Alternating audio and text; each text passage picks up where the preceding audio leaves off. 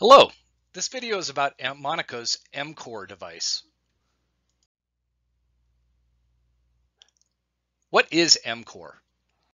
M-Core is Monico's flagship next generation platform for data acquisition for use in remote condition monitoring, industrial IoT, and analytics.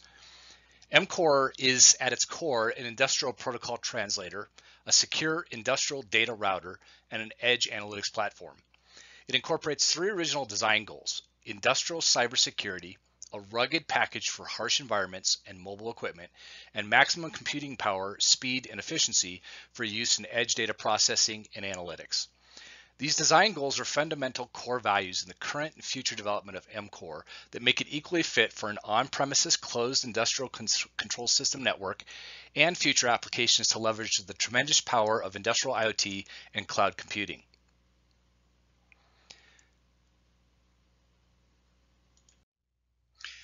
So now we'll take a look at some of the industry applications of the M-Core device. Uh, we have solutions in mining, oil and gas, marine, and electrical power gen uh, monitoring. Uh, in the mining industry, we're, we're, monitoring haul trucks, dozers, loaders, excavators, water trucks, drills. Uh, in oil and gas, we're monitoring drill rigs, compression sites. Uh, in marine industry, we're man managing propulsion engines and gensets. Uh, we're, we're, in hospitals, data centers, and universities, uh, monitoring prime power and backup power solutions. Uh, we provide remote monitoring of engines, secondary CAN bus networks. Uh, we can do data integration with OSI Soft Pi, uh, other industrial IoT applications or remote monitoring solutions. And we can also integrate data into PLCs or SCADA systems, uh, or even in the marine industry into the command center on the vessel.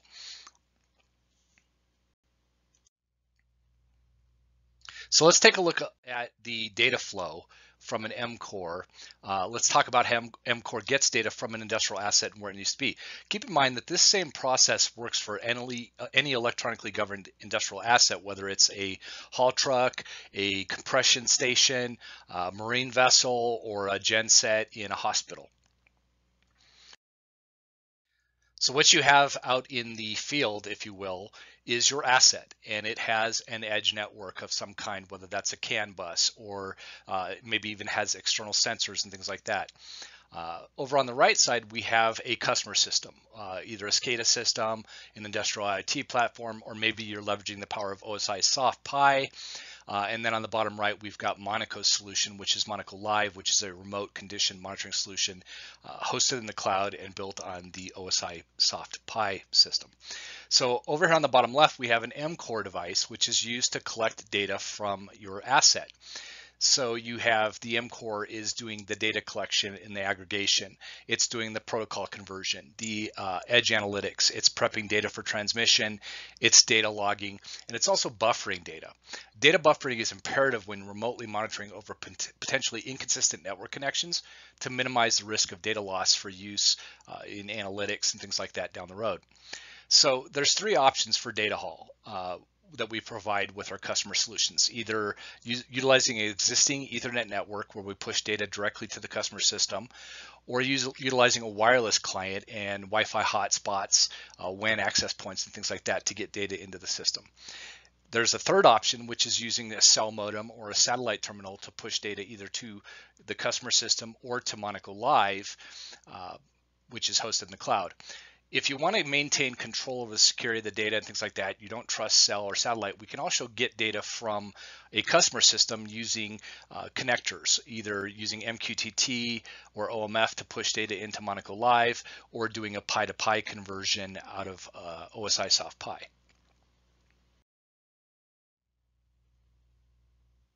So let's take a look at another application here.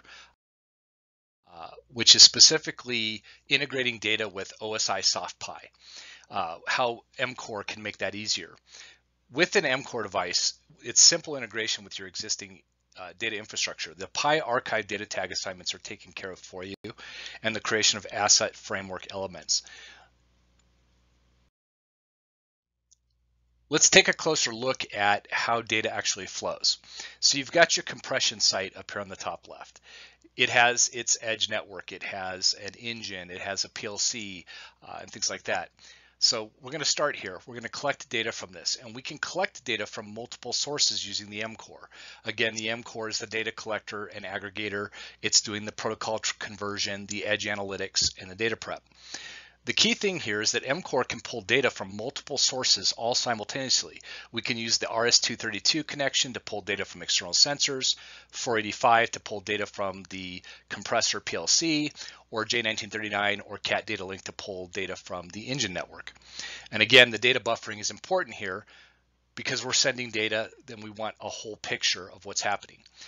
When we use MQTT or OMF and transmit that data over an Ethernet connection using TCP/IP, we can either use Wi-Fi, cellular, or satellite to transmit the data. If we're using MQTT, we're publishing to an MQTT message broker, and then using an OSI Soft Pi connector relay, we subscribe to that broker and to get this data into the OSI Soft Pi system. Or we can use OMF and push that data directly to the Pi connector relay.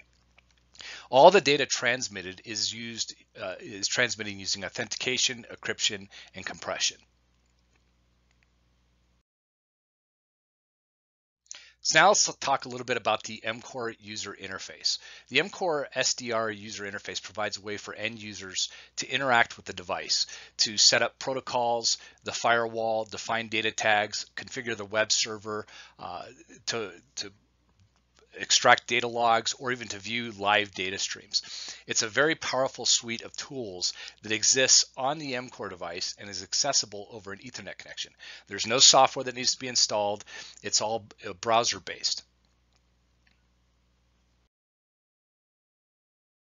So we have a couple of options for how the MCore device can be mounted. You can either use the mounting bracket, which is located on the top left, or you can use a DIN rail uh, configuration, which is located over on the right.